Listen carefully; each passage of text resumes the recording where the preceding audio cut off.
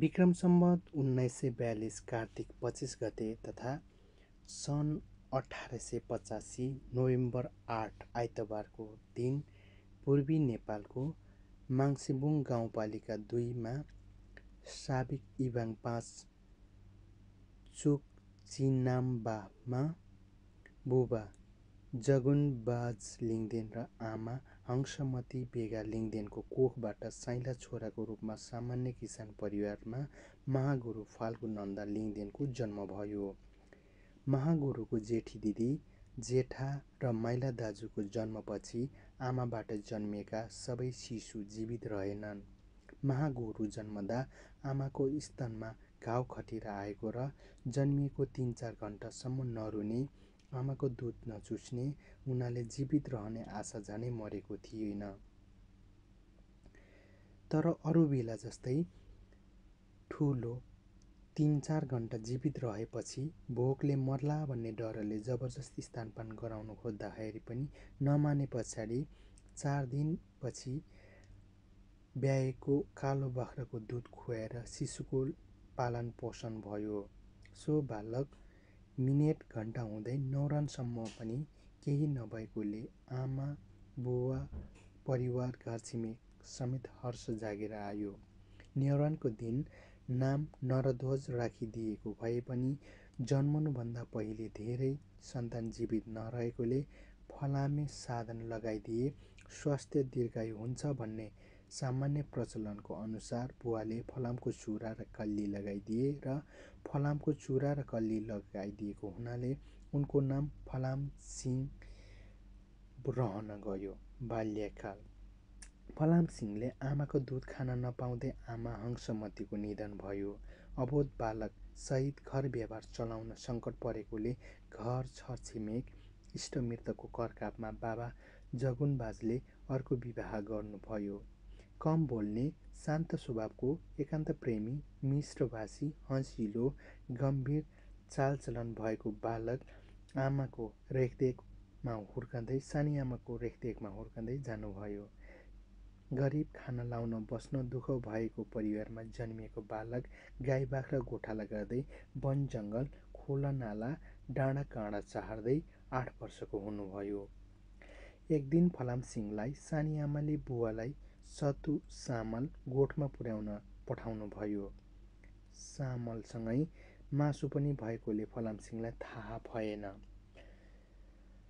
Chukchi नाम्बामा खान लाउन र बस्न भए दुःख भएकोले जगुनबाजले पनि माई खोला पारी जितपुरको खत्रपा खोसीपारी दानबारीको बोरुङ सहबिरे भन्ने ठाउँमा हिउँदमा गाईगोठ राख्ने बस्नुभएको थियो। महागुरुको बाबा गोठ लगेर उतै बस्ने भएकोले समय समयमा घरबाट चामल तुमल खाद्य सामग्री पुर्याउन जानु पर्थ्यो। फलामसिंहको डोको बोकेर खोल्सा तरिसके पछाडि उहाँलाई अचानक ज्वरो आयो र एकैछिनमा शरीरभरि फोकै फोका उठ्यो। हनहनी ज्वरो आयो। बोल्नै नसक्ने हुनुभयो। मुस्किलले गोठमा पुग्दा छोराको त्यस्तो अवस्था देखेर बुवाले आत्तिँदै के भयो भनेर सोध्नुभयो। छोराले आँसु खसाल्दै टुलु टुलु हेरी मात्रै रहेको देखेर सानी आमाले आठ वर्षको बिमारी छोरालाई वास्तै नगरी यत्रो भारी बोकाएर पठाएछ भनेर सम्झिनुभयो। छिमेकीहरूलाई परिस्थिति बुझाएर गोठ हेर्न लगाई छोरा बोकेर घरतिर फर्किनुभयो। श्रीमतीसँग रिसाउँदै छोरा बोकी घर पुग्दा आमा आश्चर्य जनाउँदै घर बाटो लाग्दा बिरामी नभएको कुरा बताउनुभयो। घरबाट हिँड्दा केही नभएको छोरो एक्कासी कसरी यस्तो भयो? भनिँदै आत्तिँदै फेदाङमा बिजुवा लगाउनु भयो त्यस समयमा त्योभन्दा अरू कुनै विकल्प पनि थिएन। चार दिनसम्मको फेदाङमा बिजुवाहरू लगाउँदा पनि बिरामी फलामसिंह बिहोस नै थिए। बिहोस फलामसिंहलाई हरेक रात छिमेकीहरू भेला भएर बिरामी रुङ्ने क्रम चलि नै रहेको थियो। चौधौँ दिन बेलुका पख गाउँलेहरूले रोगिराखेको बेला बेहोस अवस्थामा लडिरहेको फलामसिंह एक्कासी उठेर जङ्गलतिर दौडिन भयो। तिन चारजना युवाहरू आठ वर्षीय आठ वर्षीय बालक पछि पछि दौडिए। उहाँ घर नजिकैको जङ्गलमा पस्नुभयो उतै हराउनुभयो। सबै मिलेर भोलि बिहानसम्म निरन्तर खोजे तर कतै फेला परेनन्। दिव्य ज्ञान। फलामसिंह बिमारीले बिहोस भएर सुतेको चार दिन भइसकेको थियो। साँझ पर्न लागेपछि समय आफू जस्तै एक दिव्य पुरुष जङ्गलतिरबाट आएको देखे। फलामसिंहलाई अत्यन्तै आकर्षक ढङ्गले आऊ भनी बोलाए। गाउँलेहरूले रुगिरहेको भए पनि ती पुरुषलाई फलामसिंहले बाहेक अरू कसैले पनि देखेनन्। दिव्य पुरुषको आकर्षक बोलाइले गर्दा बेहोसी बालक एक्कासी जुरुक उठेर ती दिव्य पुरुष भएतिर दौडिएर गए। दिव्य पुरुषको पछि पछि जाँदा जङ्गल हुँदै बिरामी हुनुको खोला किनारमा पुग्नु भएछ। त्यस पछाडि महागुरुलाई दिव्य पुरुषले माई खोलामा नुहाउन लगाए। केही मात्र खत्रपाको खोल्सामा लगेर लाम पाते रुखको फेदमा उभ्याई खुट्टानेर भुइँ खोस्रेर सिमी दाना रोपे जस्तै गरी त्यो बिउ तत्कालै उम्रेर लहरा भई बालकलाई रुखसँगै चल मलाउन नसक्ने गरी बाँधिए पछाडि त्यो दिव्य पुरुषले बालकलाई प्रश्न गर्न थाले। दिव्य पुरुष भने मलाई चिनिस् कि चिनिनस् बालकले भने चिनिन। दिव्य पुरुषले फेरि भने अघिल्लो जन्मको कुरा बिर्सिस् बालकले भने बिर्से थाहा छैन दिव्य पुरुषले फेरि भने अघिल्लो जन्मको धर्म कर्महरू बिर्सिस् बालकले भने फेरि बिर्से थाहा छैन दिव्य पुरुषले भने अघिल्लो जन्मको शिक्षा लिपि संस्कार संस्कृतिहरू बिर्सिस् बालकले बिर्से भने बिर्से थाहा छैन दिव्य पुरुषले भने राम्रोसँग सब्जी सबै थाहा पाउँछस् बालकले अह थाहा पाइनँ। दिव्य पुरुषले भने मासु बोकेर त्यो खोलामा किन पसेको? त्यो खानु हुँदैन भन्ने बिर्सिस् माई खोलातिर औँल्याउँदै ऊ आमासँग माफी माग भन्दै दिव्य पुरुषले त्यहीँ अल्पिए। फलामसिंहको खोलातिर फर्केर माफी माग्दा आफ्नो शरीर निकै हल्का हुँदै आयो। रुखसँग बेरिएको लहरा पनि आफै हरायो। शरीरको कम्प पीडा सबै हराइसकेको थियो। अत्यन्तै आनन्द भयो मन हलुङ्ग र शान्त भयो। शरीर फुर्तिलो बढेर आयो केही गरौँ गरौँ जस्तो भयो। रुखसँग छुटिएर खोलातिर फर्किँदै कानमा दिव्य गाजा बाजासहित माङ बाजाको ध्वनिले संसार गुन्जिएको जस्तो हुन थाल्यो। त्यत्तिकैमा खोलाको बिचमा सुकिलो आभूषणमा मौलिक गरगहना सुसज्जित दिव्य सुन्तरी युमा साममाङ वा युमा युमा माङ निस्किएर हल्का मुस्कानका साथ आएर बालकको शरीरमा सुमसुमाउँदै बडो सुमधुर स्वरले धेरै बेर पहिलाको कुराहरू सम्झाए। हत्या हिंसा गर्न नहुने झुटो बोल्न नहुने नारी जाति सृष्टिकर्ता हुनाले उनीहरूलाई समाजको उच्च सम्मान गर्नुपर्ने। आफ्नो कुल देवतालाई सदा बिहान बेलुकी चोखनितो माङसेवा पूजा आराधना गर्नुपर्ने मासु मङ्स तथा मदिरा पान गर्न नहुने शिक्षा भाषा लिपि संस्कार तथा मुन्दुमको पुनरुत्थान गर्नुपर्ने जस्तो कुराको दिव्य ज्योति छाडेर तपस्वी गुरु महागुरु हुन्छौ। अगाडिको शर्तहरू सबै पुरा गर्नु मैले नै तिमीलाई यहाँ बोलाउन पठाएकी हुँ भनी मुस्कुराउँदै पुनः खोलातर्फ गइन्। त्यत्तिकैमा आनन्ददायी दिव्य माङबाजाहरू पुनः गुन्जिन थाले। दिव्य स्त्री युमा माङलाई पछ्याउँदै बालक खोलातर्फ बढ्दै जाँदा पानीमा पसी चुल्लुमा डुब्नुभयो। दिव्य स्त्री लोप भइन्। बालक निथ्रुको भिजेर खोला बाहिर निस्की दिव्य स्त्री कहाँ गइन् भनेर हेर्दै गर्दा पुनः अद्भुत दृश्य देखा परियो। मध्यरात भए पनि दिनको झैँ उज्यालो देखिन्थ्यो। आकाशतिर मुदुमका ठुल्ठुला मणिरत्न जडित सुनौलो अक्षरहरू क्रमैसँग आफूतिर खस्न थाले। आँखा तिर्मिराउने मुन्दुमका मत्रहरू भरिपूर्ण ती अक्षरहरू फलामसिंहले दैवी शक्ति पढ्दै जानुभयो। त्यसैले बालक धार्मिक ज्ञानको बोध हुँदै गयो। सबै दृश्य सकिसके पछाडि छर्लङ्ग हुनुभयो सपनाबाट बिउजे झैँ हुनुभयो। आकाशमा जुन तारा मात्रै देखिएका थिए रातको जुनेली उज्यालोमा पाउँदा बालकलाई सपना हो कि विपना झैँ लागेको थियो। त्यो रात मङ्सिरे पूर्णी रात थियो। केही बेरपछि बिस्तारै उज्यालो हुँदै गयो। आफ्नो गोठको वरिपट्टिको जङ्गलमा छु भन्ने थाहा भयो। ज्वरो बिमार शरीरका फोकाहरू सबै निको भएर पाउँदा महागुरु असाध्यै खुसी हुनुभयो। केही क्षणमा घरबाट खोज्न आउने मानिसहरूसँग भेट भयो। खोज्न आउनेहरूले बालकलाई देखेर फेरि भाग्ने पो हो कि भन्ने छेक्दै नजिक पुगेर समाते। बालक मुस्कुराउँदै हाँसेर किन समातेको भनी उनीहरूसँग छक्क परे। कसरी बिमारी निको भयो? रातभरि कहाँ बस्यो? के गर्यो? किन भागेर जङ्गल पसेको? किन यो खोलामा आएको? भनेर गाउँलेहरूले सोध्न थाले। बालकले सबै वृत्तान्त बताइदिनु भयो बालकलाई लिएर घरमा पुग्दा छोरो निको भएको हाँस्दै आएको देखेर अचम्म र खुसी हुँदै आमा बुवाले के भएर यस्तो भयो भनी सोद्धा मासु बोकेर खोला तर्न नहुने रहेछ भन्दै छोटो उत्तर दिनुभयो। खोजमा जानेहरूले अघि फलाम सिंहले भन्नुभएको सबै कुरा दोहोऱ्याए। आमा र बुवाले सुनाए घर आएर पनि वर्षौँ घरिघरि रातको समयमा पनि उनी दिव्य पुरुषलाई आइरहन्थे। खोलामा घाँटी घाँटी आउने बरफ झैँ चिसो हिउँदे पानी डुबेर उनी दिव्य नारी युमा माङ आएर अगाडिमा दिव्य उपदेश मुन्दुमका अक्षरहरू देखाइरहन्थे। आकाशतिरबाट झरिएको सुनौलो मुद्दुमका अक्षरहरू पढिसक्दा नसक्दा बालकलाई एक्लै छोडेर सबै अन्त्यस्त्र हुन्थे। धेरै पटक मध्यरात काटे पछि अन्त्र ध्यान भई जाने र अँध्यारोमा चार पाउ गर्दै घर आइपुग्नुहुन्थ्यो। कहिलेकाहीँ भगवान्ले दिएको पुनर्जन्मको शास्ति हो जस्तै लाग्थ्यो। फेरि ती दिव्य पुरुष लिन आउँदा सबै बिर्सेर रमाउँदै जानुहुन्थ्यो ज्ञान लिनुहुन्थ्यो। यसरी आठ वर्षको उमेरमै महागुरुले आर्जन गरेको ज्ञान नै किराँत धर्मको मूल मुन्दुम बनेको छ। शान्ति र अहिंसाको वकालत महागुरु फाल्गुनन्द विक्रम सम्मत उन्नाइस सय चौसठीमा अङ्ग्रेजको गोर्खाली पल्टनमा भर्ती भए। उनले बाह्र वर्ष फौज जीवन बिताए। विक्रम सम्बत उन्नाइस सय एकहत्तर साउन तेह्रमा पहिलो विश्व युद्ध भई उन्नाइस सय पचहत्तर कार्तिक छब्बिसमा समाप्त भयो। युद्धमा नब्बे लाख सैनिक र सत्तरी लाख सर्वसाधारणहरू मारिए।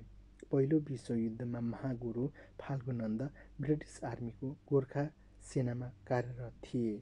प्रथम विश्वयुद्धमा महागुरु फाल्गुनन्द ध्यानी हलदारको रूपमा परिचित थिए। उनको कमान्डमा एक सेक्सन सिपाही युद्धमा खटिएको थियो।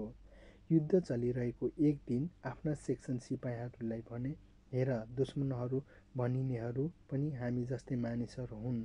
जर्मनहरूले हाम्रा केही पनि बिगारेका छैनन्। उनीहरूलाई पनि स्वास्नी छोराछोरी पाल्न दुःख पाउँछन् तर हामीले सरकारको नुन पानी खाएका छौँ। नुनको सोझो गर्नुपर्छ हुकुमको पालना गर्नै पर्छ यसकारण गोली कि आकाशतिर? कि भुइँतिर हान्नु? मान्छेलाई ताकेर नहान्नु? मागलाई सम्झिनु? सत्य र धर्मलाई बर्सियो? भन्ने रम मरिँदैन। फाल्गुनन्द युद्धको शान्तिपूर्ण समाधानको पक्षमा थिए। उनी चाहँदैनथे विश्वयुद्ध समाप्ति भएपछि उनी स्वदेश फर्किए। पहिलो विश्वयुद्ध त्यस बेलासम्मको सबैभन्दा ठुलो युद्ध थियो। युद्धको पैदा गरेको नरसंहार रक्तपात विध्वंस पीडा वियोग र विन्यासप्रति सायद वितृष्णा थियो उनमा। पल्टने जीवनपछि उनले शान्ति र अहिंसाको पक्षमा वकालत गरे। महागुरु फाल्गुनन्दले नेपाल भारत भुटान बर्मा पुगेर विश्व शान्ति र अहिंसाको सन्देश छरे। महागुरु फाल्गुनन्दले विक्रम सम्बत उन्नाइस सय छ्यात्तर उन्नाइस सय छयासी र उन्नाइस सय तिरानब्बेमा भुटानको भ्रमण गरेका थिए। त्यसबेला साम्ची राजरोग ताला ढुङ्गेना छुसा छुङफोलिङ र कोठीलाइन र तुम्बापो गाउँ भ्रमण गरेका थिए। भुटानको दाङापेलामा छ महिना बसेर किराँत लिपि मुन्दुम र विश्व शान्तिको बारेमा प्रचार गरे। पल्टने जीवनपछि उनको कुनै विलासी जीवन सुख सहेला खोजी र गरेनन्। सुविधा सम्पन्न ठुलो सहर रोजेनन्। पूर्वी नेपालको डाँडा काँडा गाउँघर घुमे। समाजमा द्वन्द मारकाट लडाइँ झगडाको कारक तत्त्वको खोजी गरे। अधिक मद मदिरा सेवन अशिक्षा राज्यद्वारा अधिकारको असमान वितरण द्वन्द्वका कारण रूपमा पाए। त्यसलाई समाजलाई बाहिर ल्याउन के गर्न सकिन्छ भनेर तत्कालीन लिम्बुवान पूर्वी नेपालका थुम तथा गाउँ प्रमुख सुबा तुम्मेहाङहरूसँग थुप्रै चुम्लुङ बैठक बसे। त्यसमध्ये सबैभन्दा बृहत र ऐतिहासिक महत्त्वको चुम्लुङ चाहिँ विक्रम सम्वत उन्नाइस सय अठासी वैशाख चौबिस गतेको दिन पाँचथरको लभरेमा सम्पन्न चुम्लुङ थियो। महागुरु फाल्गुनन्दले विक्रम सम्वत उन्नाइस सय चौरानब्बे हिउँदमा आफ्नो चेलाहरूलाई साथ माझ किराँतको भ्रमण गरे। त्यसबेला उनले उदयपुर ओखलढुङ्गा भोजपुरका गाउँ डुलियारहरू भाषा लिपि संस्कृति शान्ति तथा आध्यात्मको बारेमा प्रचार प्रसार गरेका थिए। मातृभाषाको शिक्षा सेवन पहल। समाजको पछौटेपन अज्ञानताको कारक रूपमा अशिक्षा रहेका महागुरु फाल्गुनन्दले थाहा पाए। महागुरुले फाल्गुनन्दको पहिला विक्रम सम्बन्ध उन्नाइस सय अठासी वैशाख चौबिस गते सुरु भएको लिम्बुवान क्षेत्रका प्रशासनिक प्रमुख सुभा सर्वसाधारण भक्तजन तुम्मेहाङहरूको भेलाले सात बुधे सत्यधर्म मुचुल्का निर्माण गरियो। मुचुल्कामा युमा माहिङमा युमा माङहिम स्थापना गर्ने र मातृशिक्षालाई शिक्षा दिनु स्कुले खोल्ने उल्लेख गरेको थियो। त्यसबेला विद्यालयहरू खोल्न सहज थिएन। माहिङहरूमा मुन्दुम शिक्षा लिने व्यवस्था गरे। मुन्दुम पाठ पठन पाठनका लागि माध्यमबाट हजारौँ भक्तजन साक्षर भए। महागुरु फाल्गुनन्दले नेपालमा मातृभाषाको विषयलाई उठान गरे पछाडि समयमा आम नागरिकको निम्ति शिक्षा लिने व्यवस्था थिएन। राणा शासकहरूले अङ्ग्रेज र संस्कृति भाषामा शिक्षालाई जोड दिइरहेका थिए।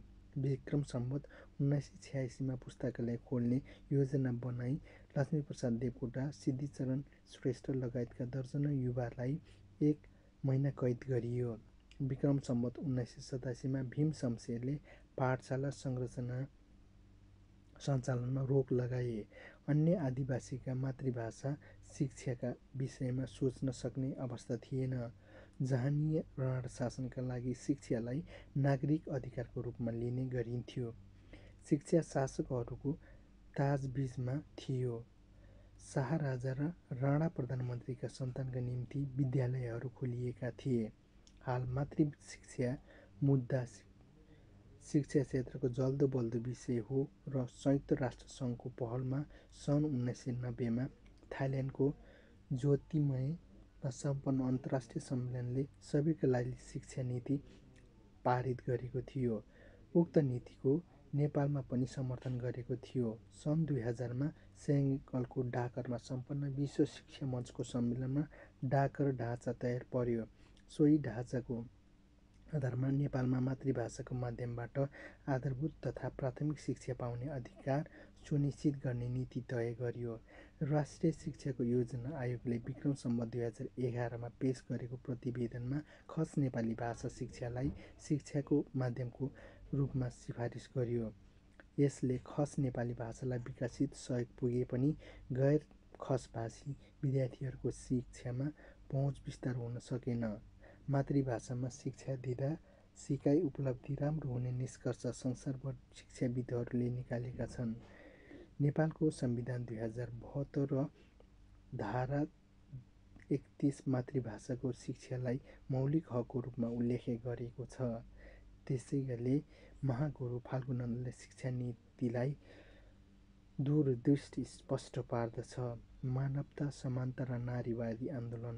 महागुरु फाल्गुनन्दले सत्य धर्म मुचुल्काको माध्यमबाट अहिंसा र मानवतावादी आन्दोलनको अघि बढाएका थिए। मुचुल्काले समाज लिङ्गीय जाति भाषिक वैदिक हटाउन चाहेको थियो। सत्य धर्म मुचुल्काको पहिलो बुँदामा छोरी चेलीलाई स्वतरित लिन बन्द गर्ने उल्लेख गरेको छ। छोरीको विवाहमा सुन चाँदी नगद मासु रक्सीका माग गर्ने चलन थियो रहेको छ। किराँत लिम्बू समुदायमा छोरीको विवाहको मोल नै तोकेर सोतरिया लिने चलन समाजमा थियो अझै छ।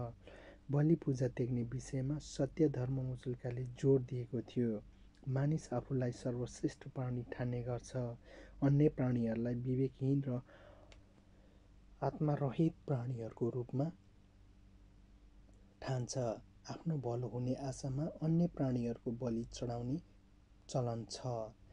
सत्य धर्म मुचुल्काले सबै प्राणीको अस्तित्वमा सम्मान गर्ने र सबै प्राणीलाई माङ ईश्वरको रूपमा सन्तानको रूपमा व्याख्या गर्ने प्रयास गरेको छ।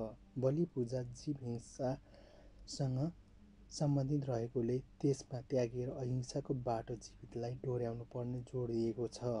बलि पूजाको ठाउँमा फलफुल चढाउनु पर्ने जोड दिएको छ।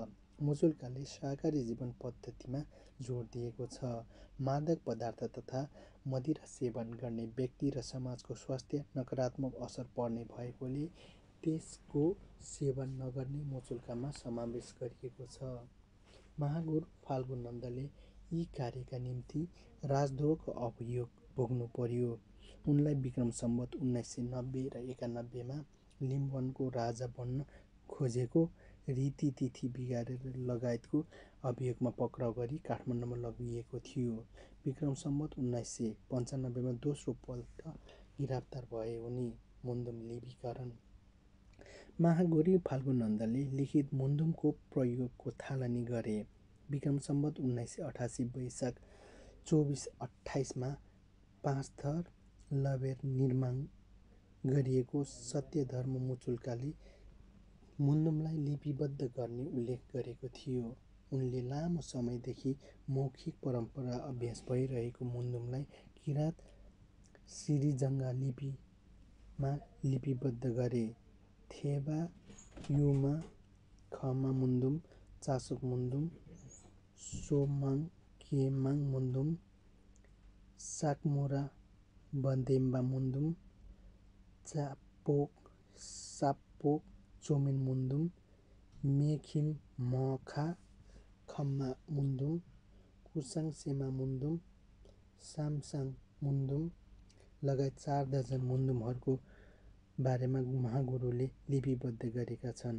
उनी आफैमा मुन्दुम सावा थिए जब उनमा माङ लिपि लिङछिङमा गर्थ्यो र उनको मुन्दुम भन्थे चेलाहरूले किराँत सिरिजङमा लिपिमा लेख्थे। चेलाहरूले सधैँ गाउँमा निर्मित मसी वा बाँसका कलमसँग हिँड्ने गर्थे। उनले लिपिबद्ध गरेका मुन्दुमलाई सम्पादन छपाई ल्याउने कार्य मुहिङगुम अङसिमाङ लिन्देन आत्मानन्द सेयिङले गर्दै आएका छन्। हाल Nepal Bharat Sikkim Darjeeling Assam Hong Kong Singapore बेलायत Canada Australia Malaysia Japan Korea Qatar लगायतका स्थानमा प्रयोग भइरहेको छ। माङ्सेबुङमा मुन्दुम पठन पाठन भइरहेको छ। अझै धेरै मुन्दुम लिपिहरू हुन बाँकी नै छन्। संहिताकृत मुन्दुमहरूलाई प्रयोग र अध्ययन गर्नका लागि माङहिमहरूको स्थापना गरियो। महागुरु फाल्गु नन्दका पालामा ताप्लेजुङ पाँचथर इलाम भुटानका विभिन्न स्थानमा माङहिमहरू स्थापना गरिए। ती माङहिमहरूको ढोक तथा दियालो बलेर मुन्दुम पढ्ने र गरेको महागुरुको जीवित चेला नरदल फोजुङ सुनाउँछन्। यो मुन्दुम पठन पाठनको औपचारिक थालनी थियो।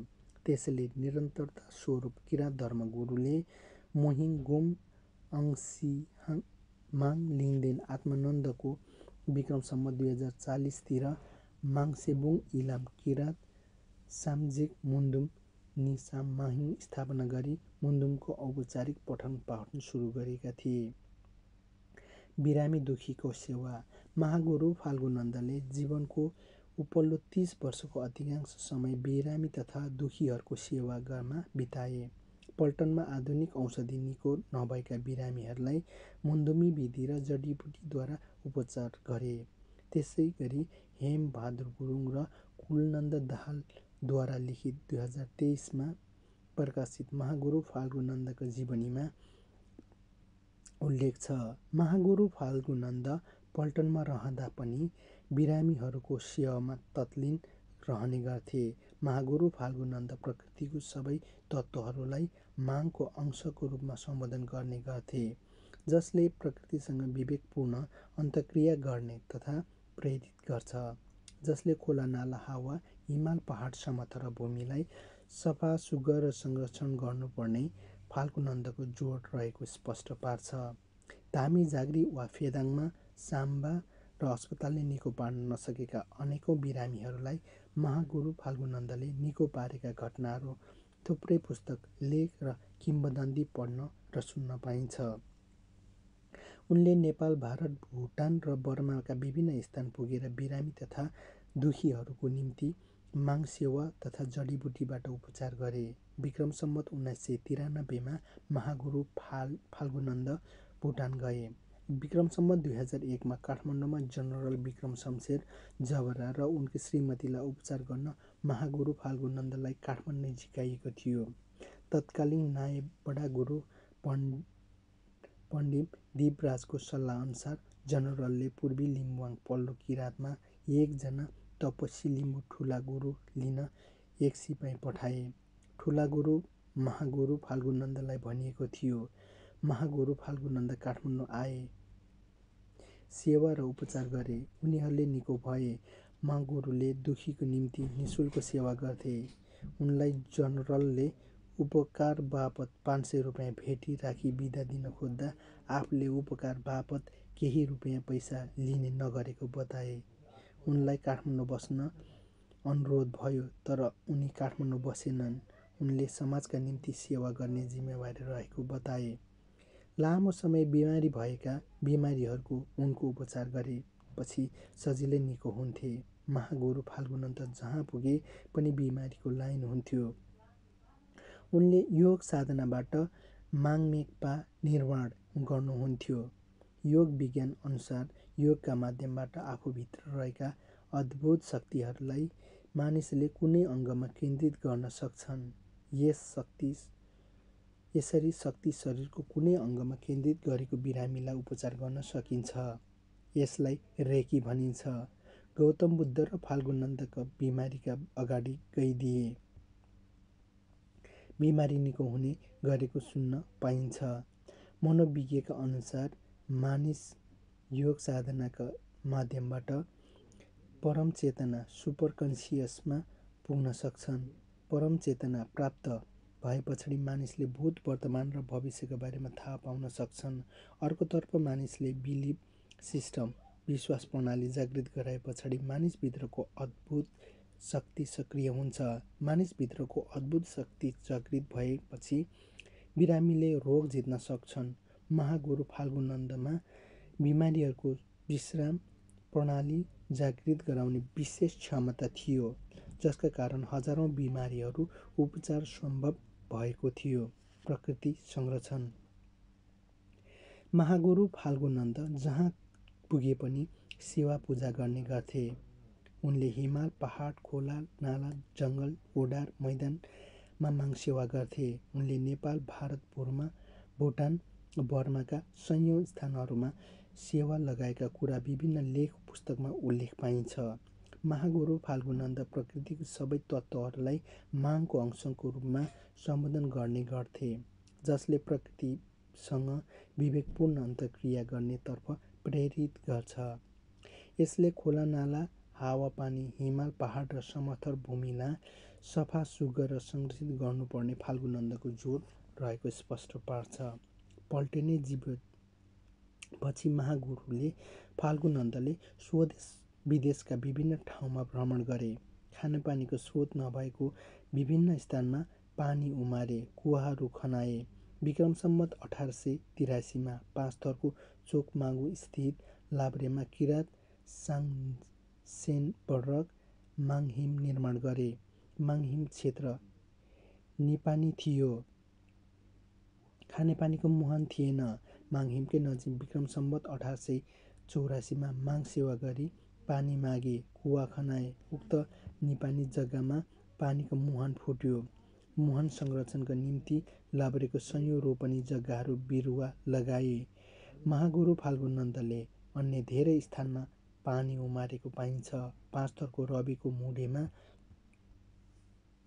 साधु गुफा माडेश्वर इलामको जितपुर परी गाउँमा उनका काका बलिवन्द लिङदेनको अनुरोधमा विक्रम सम्बत उन्नाइस सय अस्सीमा र उन्नाइस सय पचासीमा इलामको माङ मालुम छेउ तिन चुलामा पानी उमारेका थिए। त्यसै गरी विक्रम सम्बत उन्नाइस सय छ्यासी पाँचथरको कुरुम्बा एक सेक्टेम्बाको थोकपेक्चङमा सानो डाँडामा सन् उन्नाइस सय चौरानब्बेमा इलामकै इभान चिम्बुवामा पानी उमारेको उल्लेख छ। महागुरु फाल्कुनन्द उमारेको पानी आजसम्म पनि प्रयोगमा भइरहेका छन्।